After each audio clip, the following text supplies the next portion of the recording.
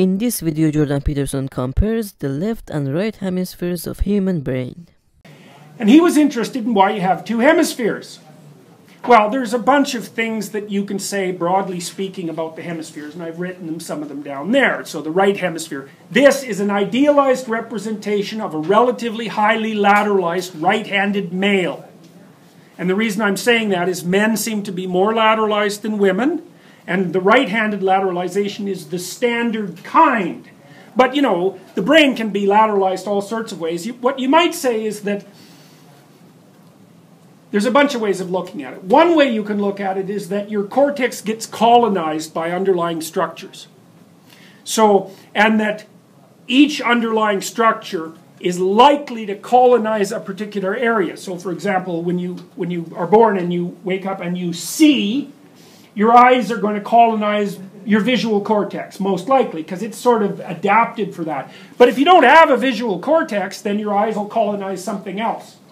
So, so that's so the brain has proclivities towards a certain kind of structure, but especially early in development, it's unbelievably plastic, and so brains can be organized and lateralized in a bunch of different ways. But so to simplify it, what you do is you kind of take okay, well, let's take the, the kind of most straightforward and typical brain and talk about it as if it's the canonical brain.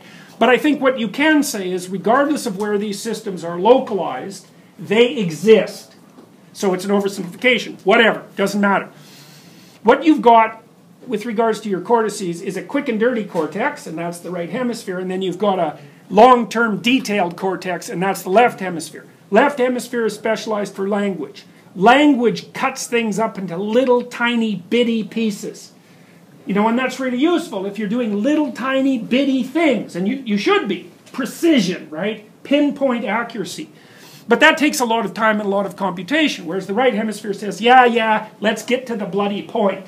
You know, so it captures the thing in an image. So like the monster I showed you from the hippie cartoon, that's a right hemisphere thing. It's an image that represents a, a class of entities, and which of course images do.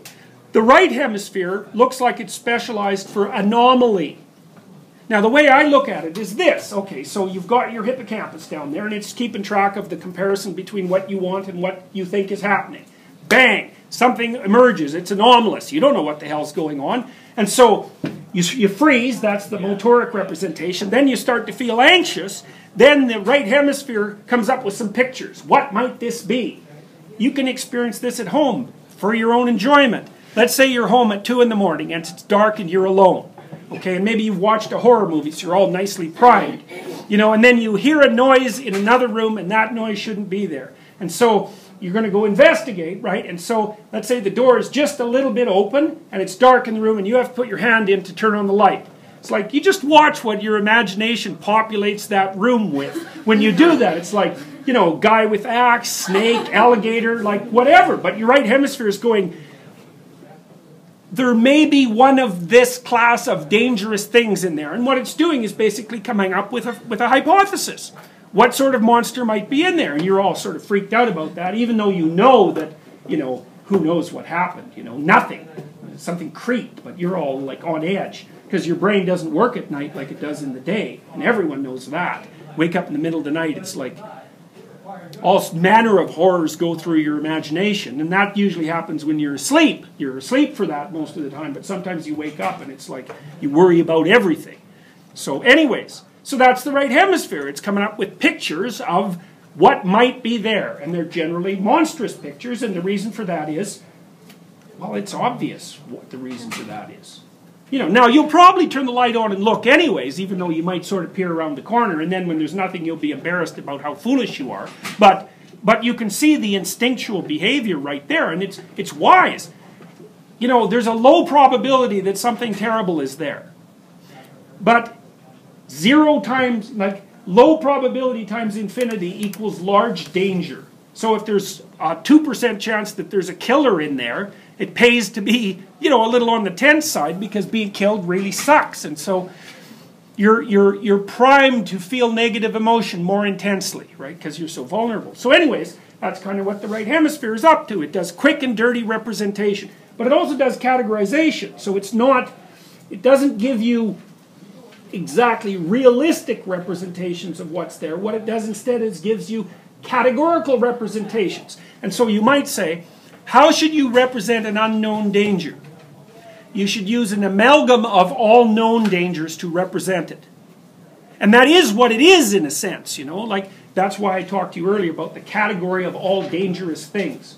So the Aborigines in Australia have this, this category which is women, fire, and dangerous things. Like, well, you think, well, why are all those things in that category? It's like, well, it's not that hard to figure out if you think about it, but it's also a category that you very frequently see, say, in Disney cartoons.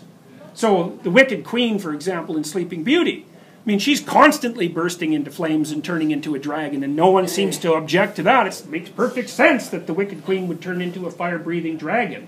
It's like, it doesn't make any sense at all. But, although it does, but, you know, it, it, it's not a rational transformation, but because it's in keeping with an archetypal structure, everybody goes, yeah, of course that's what she's going to do. And it happens all the time in Disney movies, like Ursula. Remember her from, from The Little Mermaid? She's trying to keep her daughter from becoming conscious. Yeah, nice mother doing that. And she traps old Zeus, you know, she squeezes his soul to death and traps him in the underworld.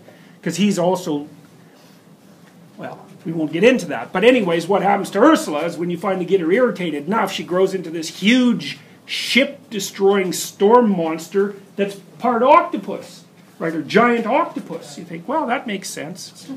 Okay. it doesn't make a lot of sense. But it's a kind of hypothesis. Now, that's a representation of Mother Nature, red in tooth and claw.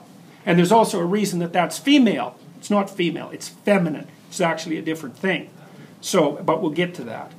So, the right hemisphere, well, it's specialized for anomaly. It does quick and dirty analysis under the influence of the limbic system. It's not linguistic, so I would say it's still dominated by the subcortical systems. And my suspicion is that animals are still dominated by the subcortical systems. Their brains work from the bottom up. We have a top down module, and that's, at least in part, the left hemisphere linguistic system. And it's a new thing that people have, and it's based on our capacity to abstract, so that would partly be visual, like hieroglyphic, and then also to transform things into linguistic form. And it seems to me that that's the part that we really identify as ourself, right? Because it's weird. If you're, let's say you're home alone, and you get freaked out, and all these images come to mind, you know, do you think of those images as part of you? You think more, there are things, things that appeared to you. And that's what you think about your dreams. They're things that appeared to you, they're not you. It's like, why would you think that? I mean, they're, they're in your experiential space. Why is there that separation between you and your dream? I had a dream. Not I thought up a dream or look what I created. It's like there you are, the observer, and up comes a dream. It's very, very weird. And it, you know, it shows you that there are forces operating in your psyche that are impersonal, genuinely impersonal. And of course, that's part of what Jung called the collective unconscious.